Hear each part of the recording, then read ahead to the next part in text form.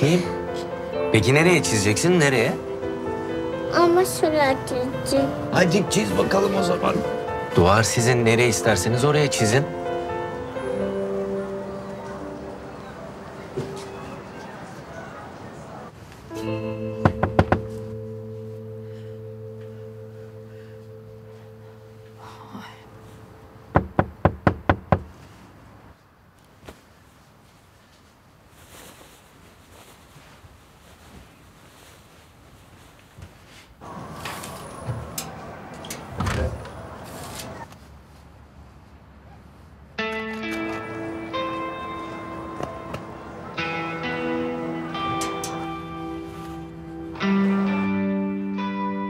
Senin burada olduğunu bilmiyor.